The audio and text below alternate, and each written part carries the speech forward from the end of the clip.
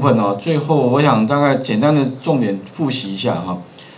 那往后呢，无论说你是新增网站，或者是说开启网站，那一其实一个网站就是一个 app 啊。那它的方式基本上就是从设定网站里面新增网站，就是新增网站哈进来，然后新增汇入你的素材，包含就是你的图跟你的文字，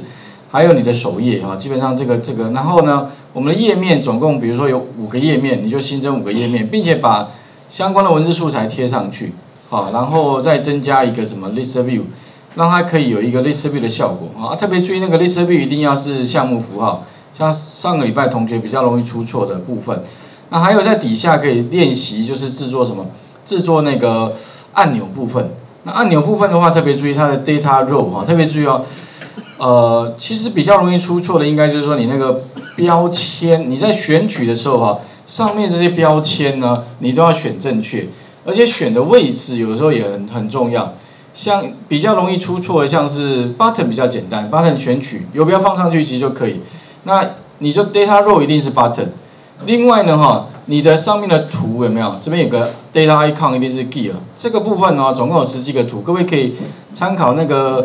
第三章的第三之五了哈，有一个图，总共有十五个小说图，然后还有 data theme，颜色如果是你要是黄色的话。那就是一啊，就是黑、蓝、银、灰、黄，我讲过就是有这几。那另外就是说呢，哈，呃，它的这个按钮的大小，如果是要跟着什么呢？随着按钮大小去调整的话，那这边 data inline 一定要是 true。如果这个地方没改的话，那个按钮一定是长条，就是整个延伸到你的那个有没有？你的宽度啦，就是你的这个手机画面的宽度哈。OK，大概会有几个，我想这都蛮重要的。那那那个 net bar 最后我们要做什么？net bar 要坐在下面，好，要特别注意哦。选的时候特别注意，就是一定要在，如果你要坐在底下的话，记得务必一定要注意选取的时候，一定要记得就是在什么 footer，就是在那个页尾的下方。那你在新增那个页面的时候呢，那个页尾部分一定要打勾，才会有页尾，然后把页尾的部分增加我们要的那 bar，好。那那 bar 把它加上去之后的话，哈，特别注意啊，选的是很关键，因为我发现很多同学光要做那 bar 哦，那应该做半天都做不出来，主要原因是因为你选错范围了，好，这个，那我在这个图上面有那个帮你 mark 起来，反正呢，黄色的区域里面部分就是你要选取的，那另外就是说，因为我们这个范围是从那个 list view 里面把它复制贴过来，所以你要先把 list view 那个 data row 先把它取消掉。不然做出来的话会怪怪的，它变成什么？那 bar 里面又有 list view，好，怪怪的，所以你要先把它取消掉，再来做，OK？好，这部分的话都是都是重点，然后再来是还有一个部分就是说哈，你往下卷动，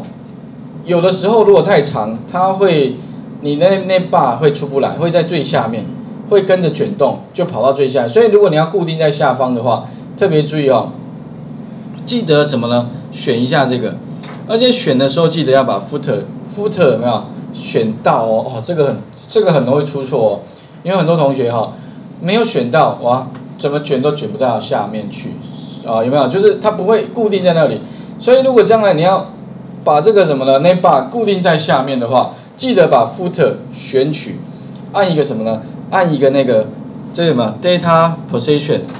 这个属性哈标签一定要设为 fixed 固定在下面。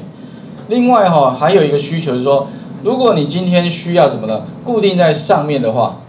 有没有？如果你那把之前我们有一个范例，如果你要固定在上面，因为你卷轴往下拉的时候，那那个上面也会那把也会不见，所以哈特别注意就是说也是一样。